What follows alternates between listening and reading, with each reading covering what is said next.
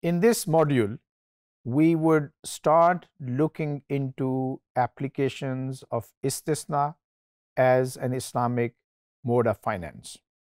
There are various applications of istisna in Islamic retail banking, in Islamic capital markets, in Islamic alternative markets like istisna has a lot of uh, applications in project finance and so on. But before we go into these applications, it is important for us to remind ourselves of the basic structure of an istisna contract.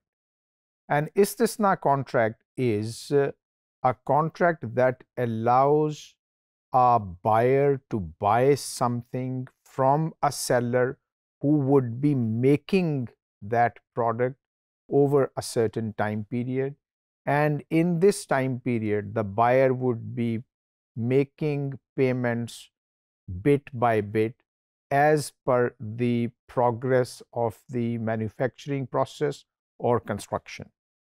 So, this sale is relevant to activities like construction of homes and commercial buildings.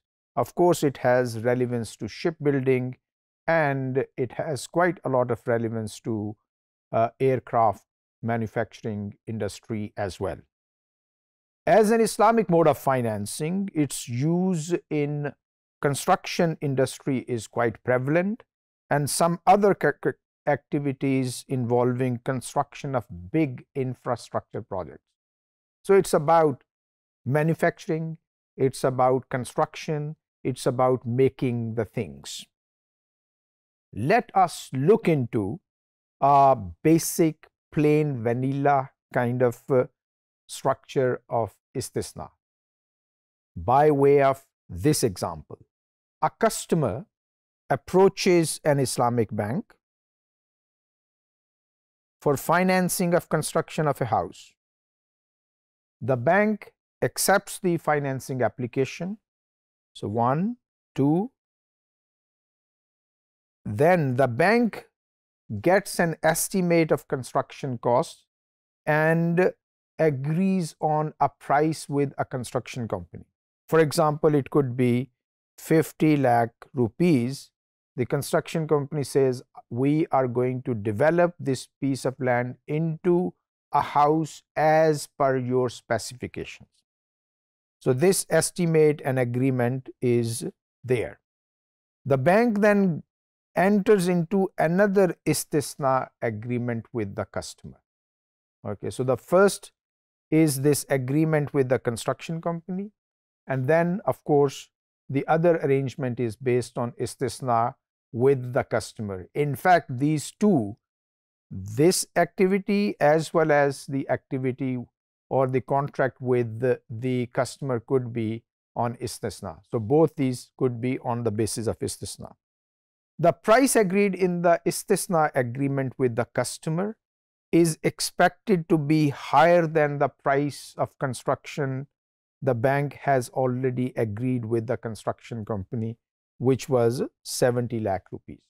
So, 50 lakh is the construction cost, 70 lakh is the price which the bank would agree with the customer. The bank and the customer agree on a payment schedule. Of course, the objective of the customer is to get financing. So, the bank has construction cost of 50, it sells the project to the customer for 70 lakhs, this 20 lakh is actually the profit of the bank and the bank would be getting this uh, profit because it would be offering a financing facility to the customer. The customer pays to the bank as per the payment schedule.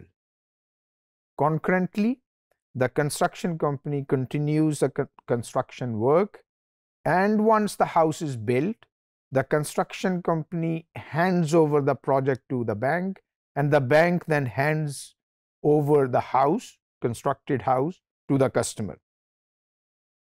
The customer continues to pay as per the istisna agreement between it and the bank. So, even after the house has been delivered, the customer would continue to pay because this was part of the provisions of the istisna agreement between the bank and the customer. So, in terms of diagrams, diagram se baat samajh aa jati hai. So, we are using this diagram whereby this customer has a piece of land and he wants to develop this piece of land into a house to live in. बेच भी सकता है बाद में Islamic Bank is there because the customer actually doesn't have the money to pay for construction costs. Now, if the Islamic Bank is willing to finance the construction activity on an istisna basis, तो फिर बात बन जाएगी. So, as I explained previously, this istisna agreement is between the Islamic Bank and the construction company.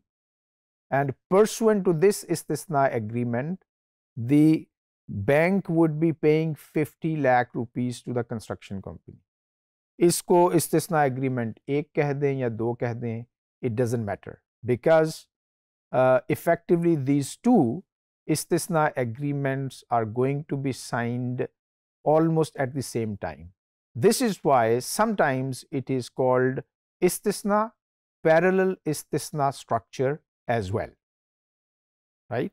So this istisna agreement would ensure that the bank gets the property developed and istisna agreement 1 would ensure that the customer would get the home delivered by the Islamic Bank. Why these two istisna agreements are entered into? Of course, when bank enters into an istisna agreement with the customer, it's not going to construct the house by itself. Bankers ko kahan construction aati hai? So the bank would actually enter into a construction agreement based on istisna or it could be another simple construction agreement as well, right? So given that you know the bank is not a construction company, there is a need for this second istisna agreement. Now, how would the payment take place and where is the financing? समझें कि घर पांच महीनों में तैयार हो जाएगा Pursuant to istisna agreement 1 the customer would be paying easy monthly installments to the bank over a period of five months. हम एस्यूम करते हैं कि वो दो दो लाख की किस्त हर महीने बैंक को देता है। तो इस तरह पाँच महीनों में the customer would have paid ten lakh rupees to the bank इस दौरान बैंक ने 50 लाख कंस्ट्रक्शन के ऊपर लगाए हुए हैं। pursuant to istisna agreement 2 the bank would be paying on a monthly basis as per the progress of the construction 10 lakh 10 lakh 10 lakh 10 lakh five times 50 lakhs construction company को चले गए bank के पास सिर्फ 10 लाख आए अब Istisna agreement between the customer and the bank has a price of 70 lakh.